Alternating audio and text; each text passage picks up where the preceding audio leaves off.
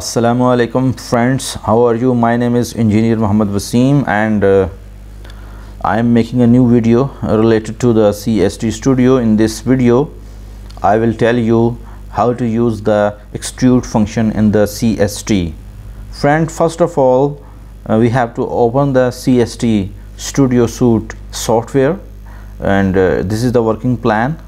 And uh, first of all we have to move there and select the front now first of all we have to design some bricks. In the bricks we have to use modeling and uh, in the modeling we select the bricks and double click in, in the this point and press escape. Now if for example we write here we write as a substrate we have a value of minus 10 up to 10 and y minimum minus 6 up to 6 if we have a 0 and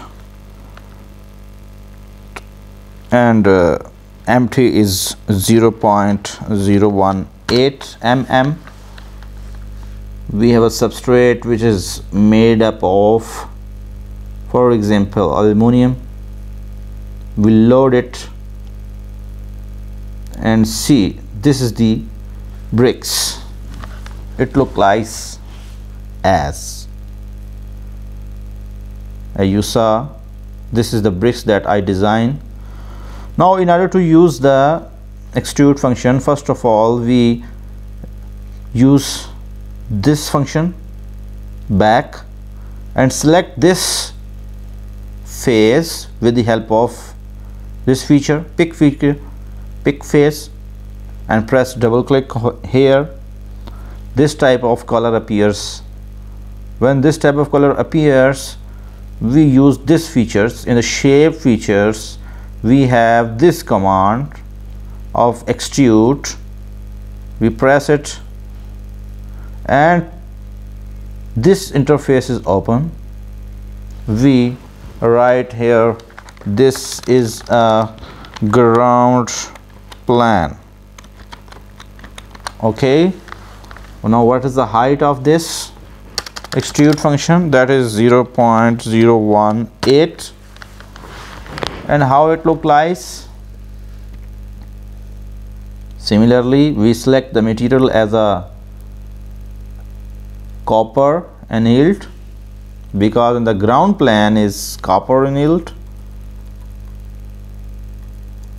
it look like that. We load it.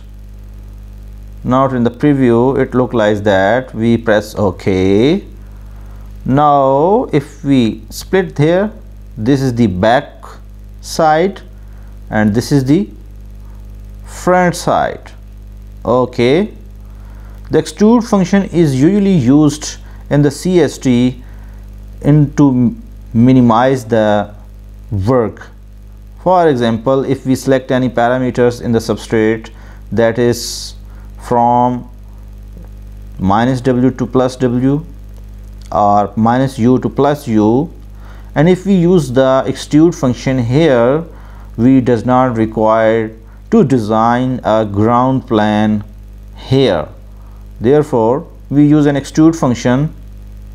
However if we use the same parameters in the substrate as well as in the ground plane we does not need to design ground plane and substrate both. However if we design only a substrate and use an extrude function then it's very easy that not to design a ground plane. I hope you understand that how to design a extrude function. If you like this video, press like and kindly subscribe to this channel so that uh, different videos I upload and you will receive the notification of it. Thank you. Bye.